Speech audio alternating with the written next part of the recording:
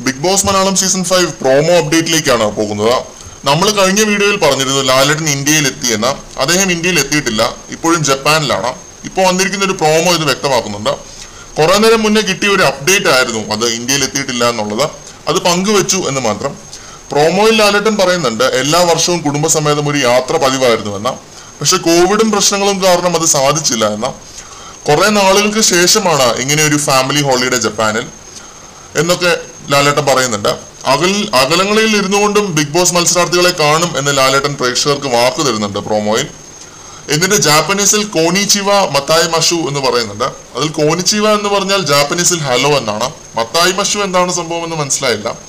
എന്തെങ്കിലും ജാപ്പനീസ് പ്രയോഗമായിരിക്കാം. എന്തു തന്നെയായാലും ഇതൊരു പുതിയ അനുഭവമായിരിക്കും നമ്മൾ പ്രേക്ഷകർക്ക്. കാരണം ആദ്യമായിട്ടാണ് ലാലേട്ടൻ വരാത്തൊരു വീക്കെൻഡ് എപ്പിസോഡ് കാത്തിരുന്ന് തന്നെ കാണാം ഇതൊക്കെ എങ്ങനെ എങ്ങനെ നടക്കുമെന്ന്. വീണ്ടും ഒരു അപ്ഡേറ്റുമായി വരുന്നത് വരെ. ബൈ